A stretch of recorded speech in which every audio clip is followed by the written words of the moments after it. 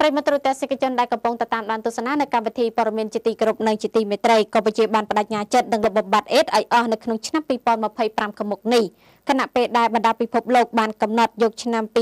2030ចាអគ្គលេខាធិការអាជ្ញាធរជាតិប្រយុទ្ធនឹងជំងឺអេដអាដាមវិជ្ជបណ្ឌិតចាតែងគុន្ធី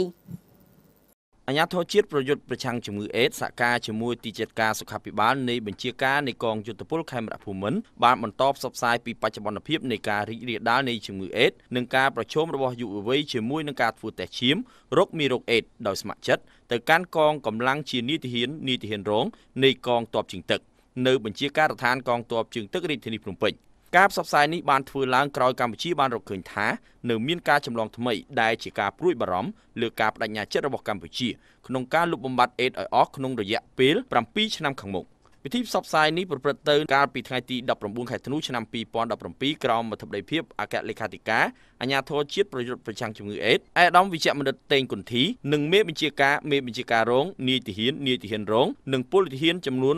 450នាក់ កម្ពុជាបានបដិញ្ញាចិត្តនឹងលុបបំបាត់អេដឲ្យអស់នៅក្នុងឆ្នាំ2025ខាងមុខខណៈដែលបណ្ដាប្រទេសពិភពលោកបានកំណត់យកឆ្នាំ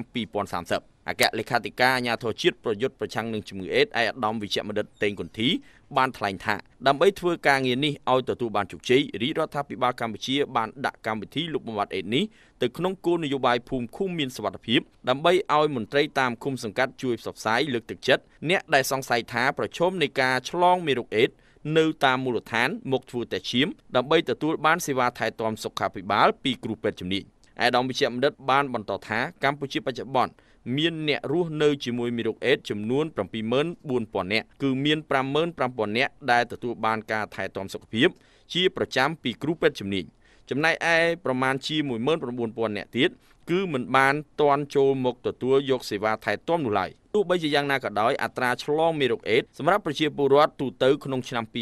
2016ត្រូវបានគេរាយការណ៍ថាមានការថយចុះដល់ត្រឹម0កណ្ដកសញ្ញា